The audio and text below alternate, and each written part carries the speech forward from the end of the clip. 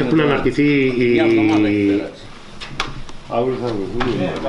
οι δασικοί χάρτες από τη Διεύθυνση Δασών και σε, μια, ε, σε έναν έλεγχο που έκανα έτσι από ενδιαφέρον στο, στους χάρτες αυτούς βρήκα ότι σε περιοχές που έχουμε εγκεκριμένο σχέδιο πόλης ε, αυτές οι περιοχές, δηλαδή μέρος του σχεδίου πόλεως έχει, ε, συμπεριλαμβάνεται μέσα στους δασικούς χάρτες.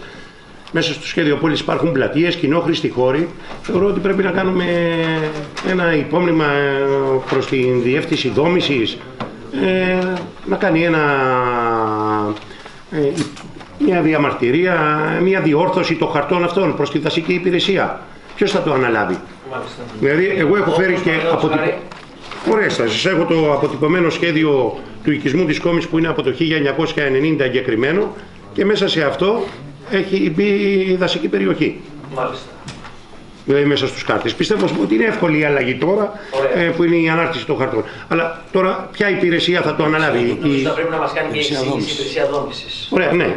Εκείνη πρέπει να μας κάνει. Άρα το Εγώ θα, θα σας καταθέσω και το απόσπασμα από τους χάρτες και από την... Ε, η απόφαση της Οικονομικής Επιτροπής που προτείνω εγώ να μας φέρει στην επόμενη Οικονομική Επιτροπή ε, η υπηρεσία δόμησης ε, εισήγηση για το θέμα που, και για το πρόβλημα που, που, που ανέδειξε ο αντιδήμαρχος ο κ. Βεργίτσης. Αλλά δεν χρειάζεται να ληφθεί απόφαση τώρα. Όχι, η απόφαση είναι ότι θα μας φέρει μια εισήγηση. Ανέδειξε το θέμα και θα, θα, θα ασχοληθεί με αυτό. Συμφωνούμε; Ομόφωνα.